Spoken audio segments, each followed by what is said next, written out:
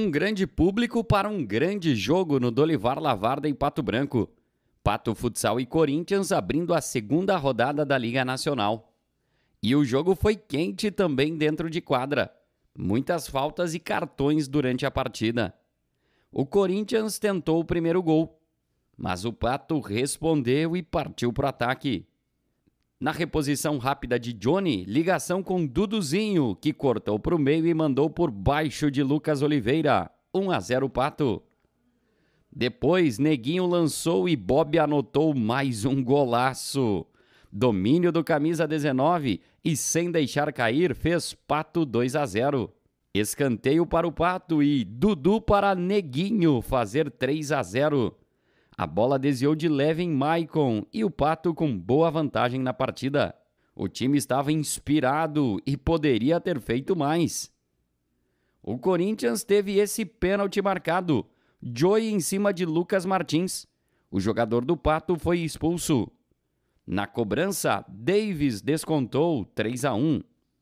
Nos segundos finais do primeiro tempo, Duduzinho cruzou e Dudu fez o quarto do Pato. 4 a 1 e vibração com a torcida. Na segunda etapa, o Corinthians tentou descontar, mas Johnny não deixou. Foi o Pato que aproveitou. Duduzinho para Neguinho e o camisa 7 usou a categoria. Domínio e de calcanhar no canto de Lucas Oliveira. 5 a 1 Pato. O árbitro neste lance viu uma cotovelada de Everton em Gugu Flores mais um pênalti para o Corinthians e o camisa 8 do Pato foi expulso. Na cobrança, Davis foi para a bola, mas mandou no travessão.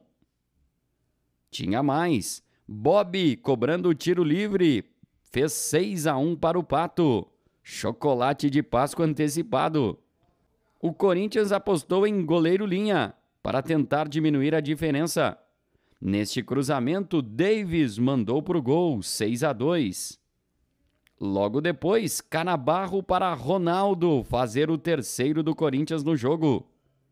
Mas não tinha mais tempo. Final de partida: Pato Futsal 6, Corinthians 3. A segunda vitória do Pato em dois jogos na Liga Nacional. Primeiro, parabenizar nosso torcedor, compareceu em massa. Eu queria agradecer os atletas pela entrega, dedicação nós com três desfalques ainda, né? E nós estávamos muito bem. Aí no finalzinho tomamos dois gols, né? Mas aí põe na minha conta, né? Às vezes a troca ali. Mas o mais importante foi a vitória, né? Importantíssima para nós. Mas não ganhamos nada em relação à classificação e sim só uma confiança maior, porque ganhar do Corinthians é sempre importante, né? Uma grande equipe. E continuar trabalhando firme, com muitos pés no chão, que a nossa equipe evolua rodada a rodada.